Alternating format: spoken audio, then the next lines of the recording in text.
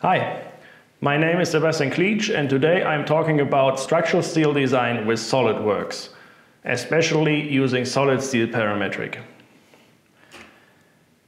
At first I'm going to talk a little bit about the Klietsch GmbH. That's the company, the development company of solid steel parametric. And after that we jump right into the software itself. We take a look at the functionalities, at the benefits and especially a look at uh, the stairs and the handrails module, which is already included in the smallest package. The Klietsch GmbH, who are we? We are a software development company based in Germany, or headquarters based in Germany. And um, we are a classic family business, a family owned software development business. We are on the market almost 50 years. Next year it's 50 years. And um, yeah, in the early 80s, we started with a software development for yeah, structural steel design as add-ins for standard CAD systems. In the early 80s, it was uh, ME10 from Hewlett Packard. Today, it's uh, SolidWorks, Siemens NX, and the Creo products. Over the years, we were able to sell thousands of licenses and we have more than 1,500 customers around the world. These customers are small engineering offices with just one employee or big global players like Liebherr, Enercon or Herrenknecht. The product today, or the product we want to talk about today, is Solid Steel Parametric. It's a classic add-in for SolidWorks. That means it's integrated into SolidWorks. Not only integrated in the user interface, it's also integrated as we are using standard or native SolidWorks parts. We are creating native SolidWorks parts. We are creating native SolidWorks assemblies. So you can work with SolidWorks PDM, for example. It's fitting into the existing IT infrastructure of your company. Of course, it's a modular software solution. That means there are different packages available with different functionalities included. But even in the smallest package, the engineering package, already the profiles are included, all the steel connections are included, and even the stairs and handrail functionalities are included. Today, we are going to design this small frame here. It's um, a support frame for steel coils or paper coils.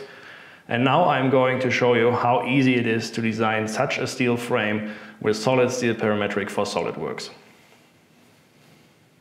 Uh, everything in Solid Steel Parametric is based on a SolidWorks sketch. This can be a 2D sketch or a 3D sketch. And at first we are going to create some beams. To do that we just select some lines and as you can see, a preview immediately appears. Of course, the beams can be rotated and uh, placed in different positions regarding the system line, but uh, it's uh, yeah, very easy and uh, very intuitive. Okay, next step, we just create the beams we need for the bracings. Um, we can create all the four at the same time. We just have to rotate them and we ha just have to uh, assign a parallel offset and then the beams fit together as we want them. Okay, now all of our beams are ready and we are going to connect them to each other. First we use the end plate function. We just select a source beam and a target surface, selecting an end plate and if fitting sizes in the database, we get everything together, including the bolts and everything. We just repeat that four times for the columns.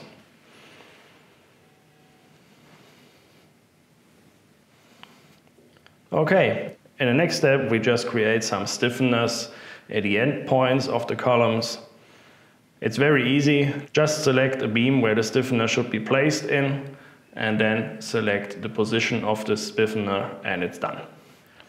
Of course, from the stiffener and the beam, a welded component assembly will be created automatically if you want that. That means that all parts which are welded together are stored in one subassembly. Okay, as a next step, we just connect the bracings and the columns. We use the gusset plate function here. I already stored one in my presets and as you can see, it's super easy. Just pick it out and everything will be done. The gusset plate will be placed, the welded component subassembly will be created, the bore holes will be created and of course the bolts, nuts and washers. I just repeat that eight times or seven times for all the other bracings and the columns.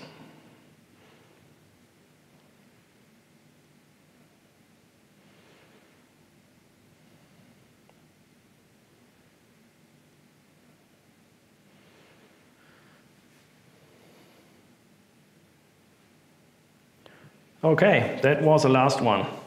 As a next step, we create some base plates for uh, the columns. Uh, we just have to select the beam and um, yeah, we can change the, the size, the dimensions, uh, the hole pattern, of course, the way we want that. In our case, I want it a little bit bigger and I'm just editing the width or the offset on the left and the right side of the beam in the next step, I'm adjusting the position of the hole pattern. To do that, I'm just uh, changing the amount of bore holes and if I get back to two, they are centered or aligned to the middle again. Okay, that's the right size. Of course, the base plate will be stored in the welded component subassembly again. Because we need this base plate more often, I just store it as a preset so we can reuse it for the other columns. Okay, selecting another column, just have to switch the beam end and selecting the preset and you can see the base plate is correct now.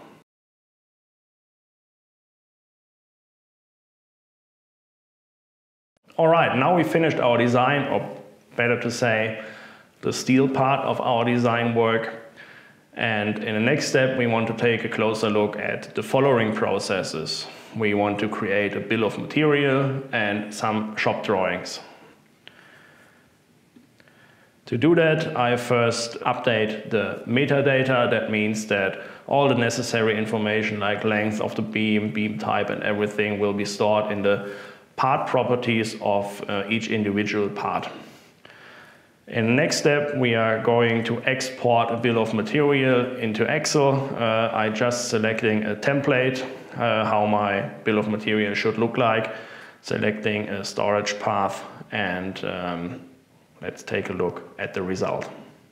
Okay, here's our result. We have a bolt list, for example, um, just a summary of all parts, just the sheet metal parts, uh, just the beams, uh, we have a structure list which um, contains the structure of our assembly levels and a cut list. Uh, of course, in this case, we don't have um, yeah, angled cuts, so it's, uh, it's empty.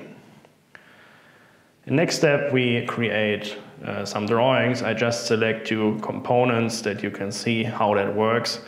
Selecting a template, it's a standard SolidWorks drawing template, and we assign an order number. Now you can see the drawings are created fully automatically, including all the dimensions we need. But because it's so fast, let's take a detailed look at a drawing. Let me just open one. Okay, here we have our bracing beam and you can see all the dimensions for the bore holes and yeah, everything you need for manufacturing. If you need DSTV NC files for manufacturing, we can do that with the DSTV assistant. Um, in our case, um, all the parts are identified, of course. We have the L beams, the I beams, and down below the sheet metal parts.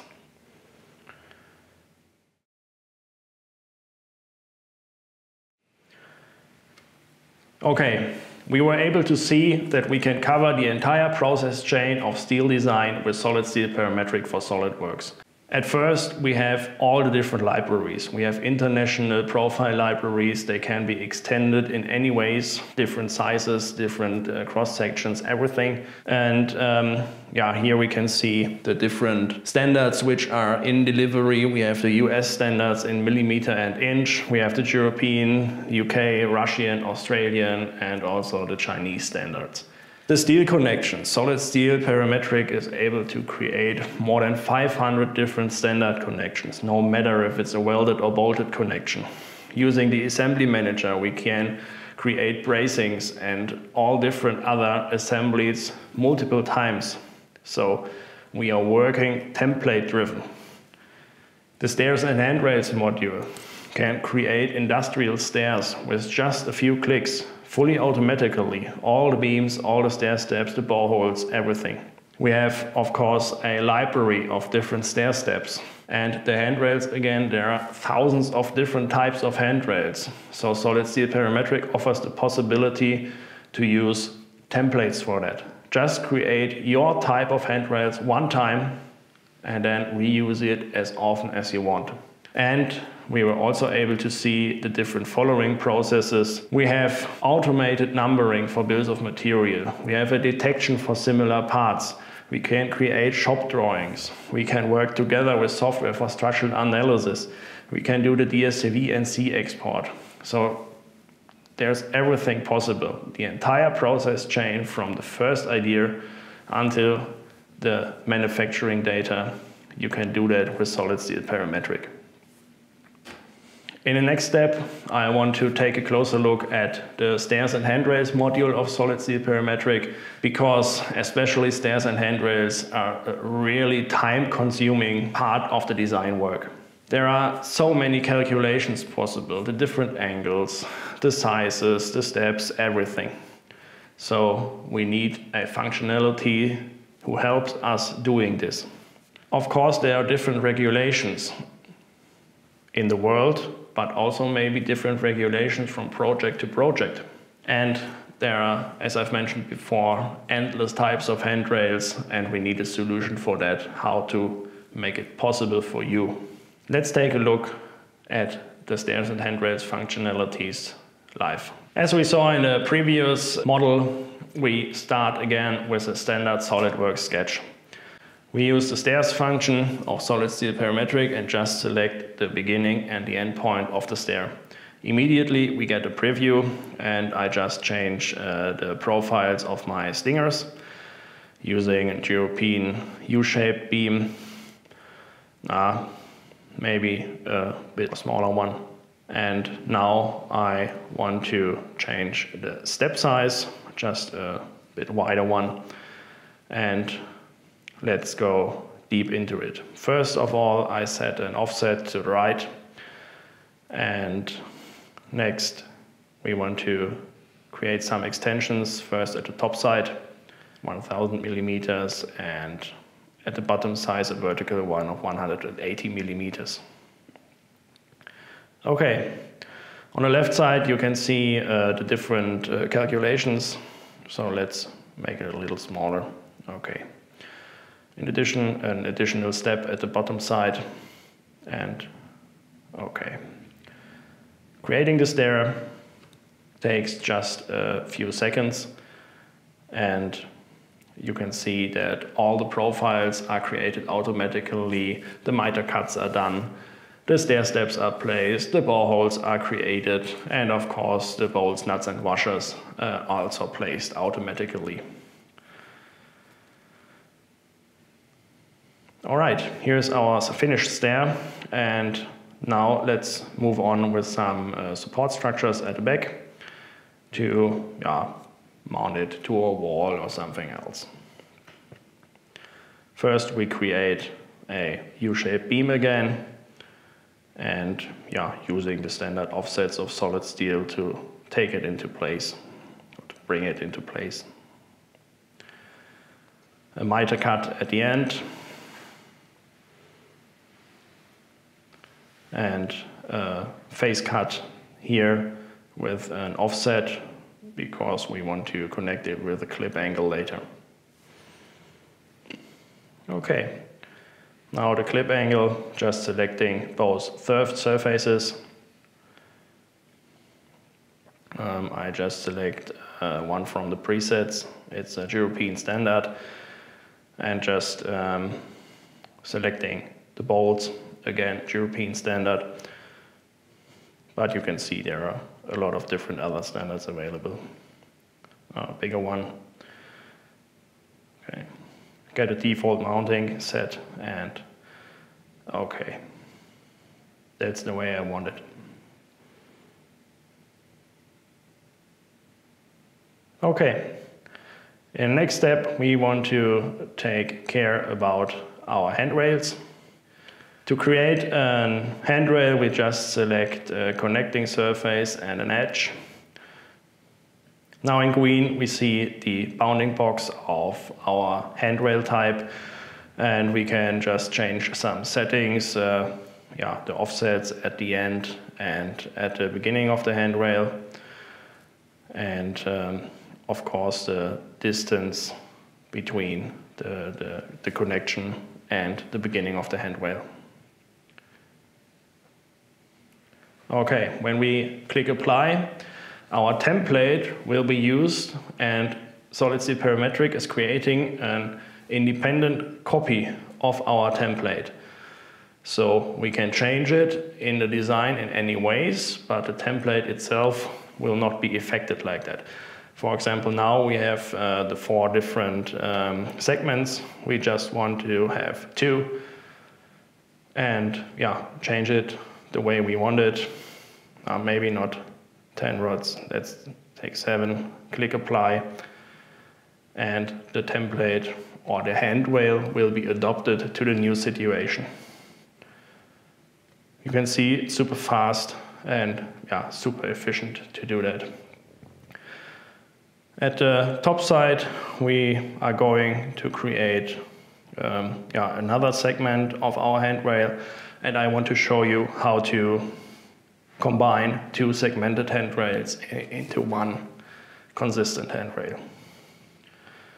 Okay, just changing the offsets again, um, also at the start point to yeah, get an overlap of both columns. Uh, why we do that, you will see in a, in a minute.